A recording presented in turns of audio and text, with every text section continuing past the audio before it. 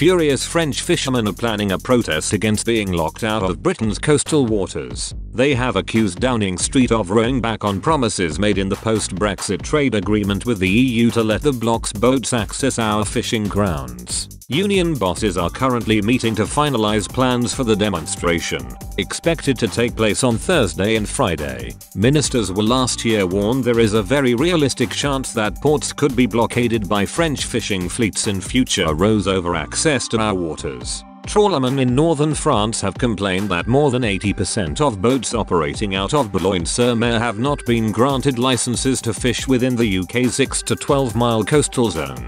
In a statement, they claimed just 22 out of 120 vessels were granted permission by the government to operate in that area. It say, the fishermen of Hauts-de-France have shown extreme patience but after being more than conciliatory, they are sounding the alarm bells to draw attention to an economic disaster in the industry. The fishermen claim they have already been extremely weakened by Brexit and insist they will not stand by and allow their industry to collapse. They added, this accumulation of problems is suffocating and it condemns not only the fishing industry but also all professionals in the agro-fisheries sector in Hauts de France. French boats have long profited from their generous access to Britain's coastal waters. Under the UK-EU Future Relationship Pact, Brussels agreed to hand back 25% of the fish its fleet catches in British waters. This will be phased in over a five and a half year transition period, due to expire in June 2026, before annual negotiations over future access.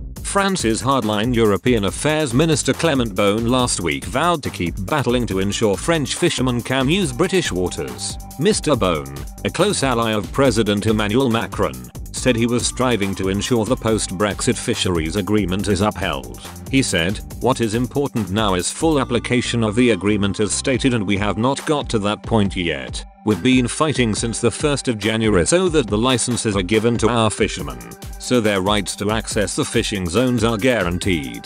Mr. Beaune revealed that still not all of the French fishing fleet has been granted licenses to use our lucrative coastal waters. This is a fight that has been fought since the 1st of January, but we have not won yet, he said. We will continue and we will continue to be firm. This also poses a question to what will happen to the European fishing fleet's access to British waters after the transition period expires in 2026, he added.